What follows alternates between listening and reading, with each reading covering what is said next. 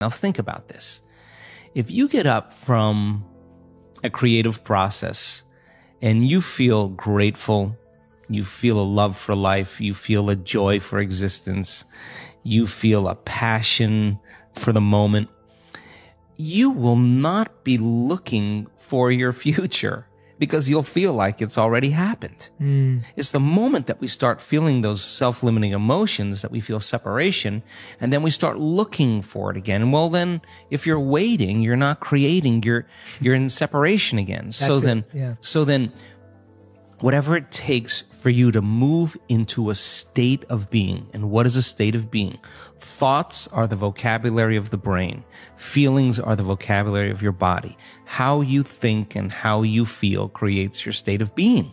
So then if you wake up in the morning and you come back to your senses with a clean slate and you say, I don't feel anything, and you say, well, let me start thinking about all the problems in my life. Well, all those problems are connected to different people or different objects or things at different times and places.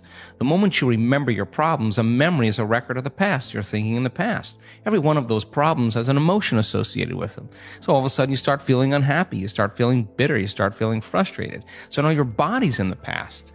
So then most people then create a state of being that's connected to their past. And if they're in the familiar past, then they are going to crave the predictable future and they're going to fall back into routine. Mm. So then we want people then to get very clear on that vision of their future, however they do it, and begin to combine that clear intention with an elevated emotion. And the stronger the emotion they feel from the vision they're creating, the more altered they feel inside of them, the more they're going to pay attention to the pictures in their mind. And now they're remembering their future and biologically.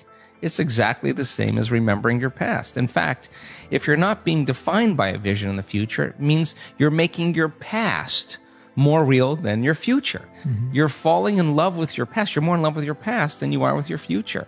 That you're believing in your past more than you're believing in your future. When you get to that moment where you have that feeling, that's your compass because that feeling is going to drive your behaviors it's going to drive more of those thoughts. And when you feel that feeling and it's visceral, no person, no thing, no experience will stand in the way between you and that vision. And, and you will be initiated in, by the universe into wealth. Mm-hmm. You will be initiated into health.